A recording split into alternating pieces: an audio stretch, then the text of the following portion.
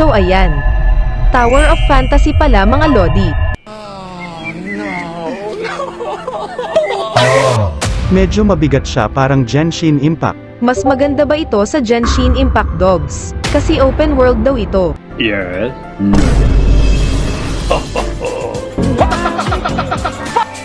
Ayun. Pero as of today ay mga nasa 9 gigs pa lang naman po ito.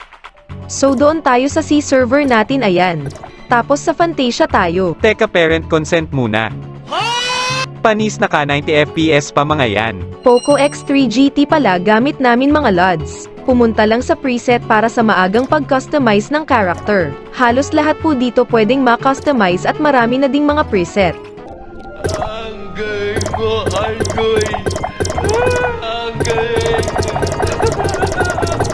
Wash out sa'yo, Pogi. So may dadaanan tayong training so skip na natin ito kasi madami ng ganito sa YouTube yung first 15 minutes. So ayan na nga ang gameplay dito pindot sa kanan tapos lalabas yung pointer na yan. So ganun lang.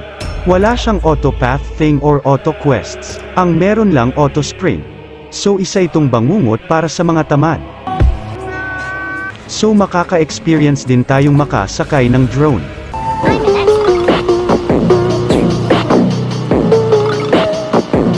So ayan na nga ang kinakatakutan ni Dogs. Wala po ditong auto attack. So talagang mapapapindot-pindot ka dito ng magdamagan. So may discharge attack siya mati-trigger mo siya pag nag-switch weapon ka so subukan nga natin. So ayan na nga. Ay nako so mayroon pa pala nito. So ito naman at may Fantasia naman sila. So parang katulad din sa discharge attack ganun mag-switch weapon ka din. Pero itong Fantasia naman ay mag-slow mo or parang mahihinto yung kalaban. So astig na din. Tapos isa pang mas astig dito ay pwede ka din bumanat or mag-attack habang nasa itaas ka. Ay ang ganda naman nito. Pwede ka pang mag-dash habang nasa itaas ka. Aba-aba naman ang ganda parang Genshin Impact talaga. Pero syempre mas maganda pa din ang Genshin Impact kung sa gameplay at mga skills. Pero ito naman ay open world naman kasi. So mamaya makakakita din tayo ng mga ibang players dito. Skateboard muna tayo.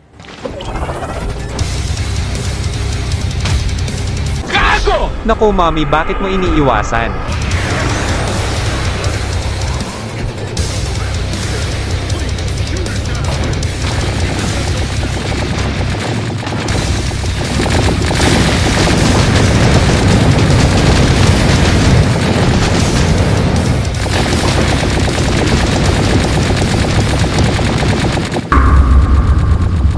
The gameplay is great buwakan ng shit. Pero syempre, alamin naman natin yung tungkol sa characters sa mga weapons at SSR na yan so susubukan kong ipaliwanag sa abot ng aking utak. So bago yon. Ay nangingisda nga din pala dito pero kinakamay lang. Tapos yung niluluto yan syempre so depende na yan kung ano iluluto mo. Para pang potions and buffs etc din kasi yan. So ayan kunin muna natin mga ayuda natin. Tiba-tiba si Mommy so punta agad siya dito sa special orders tapos ayan. SSR daw anak ng Tokwa. So ayan na nga.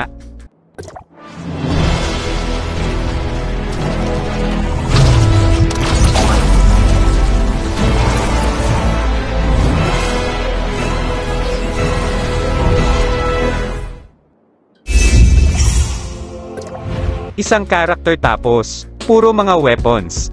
So walang star yan. So upgrade ni mommy yan para magkaroon. So ayan may star na. May jetpack nga pala tayo dito. Mamaya lipad-lipad tayo. So ayan na nga at sa wakas pakang shet nakakita na din ang mag-ina ng ibang player so ayan ang pwede lang ay makipag-party. Mag-add friend at makipag-duel. Mamaya na kami makikipag-duel. Ang dami nilang mga characters dito. Pero dito ako sa weapon medyo may naintindihan kasi may mga elements ito tulad ng ice. At fire. Siguro mga apat yata yung mga elements dito. Uy, bagsak! Takin na mo! Ano? So ayan. At nagpa-practice umakyat ang ina. Tain na nyo sabi ng Pinoy. talented, brilliant ship. Ayan at may natagpo ang training facility si mommy pero hindi pa pwedeng masubukan. Sayang naman. Sabi ng hindi pa pwede. Sa Relics SSRs, ay tinignan ni Mommy ang aangas. Lalo na yung may robot. Mahilig talaga sa akyatan nitong si Mommy. So enjoy na enjoy siya sa pag-akyat ng mga puno. Tapos dito naman sa map hindi naman kami nahirapan. Transit lang ayos na. So dito sinubukan ni Mommy kung nasusunog ba ang mga damo dito tulad sa Genshin. At ayun na nga. So nasusunog din.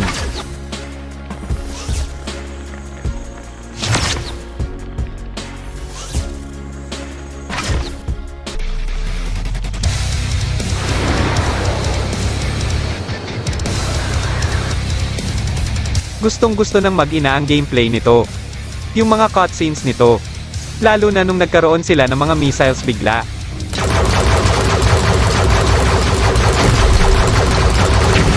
So gameplay lang muna guys after nito makikipag-duel na daw ang mag-ina.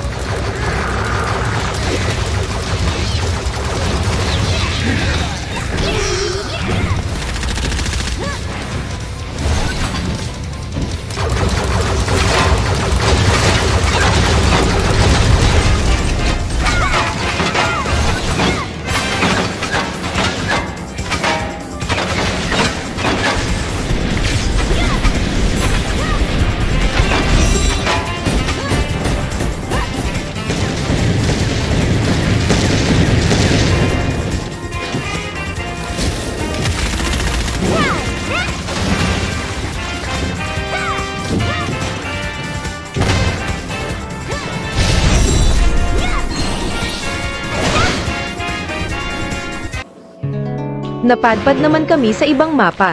At ayun nga at madami ding mga players ang busy sa quest nila. Tapos ayan at may matmat din pala dito aba naman talaga.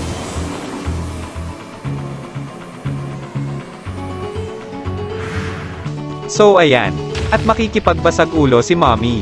So level 10 yung kakalabanin niya. Samantalang siya ay level 15 na.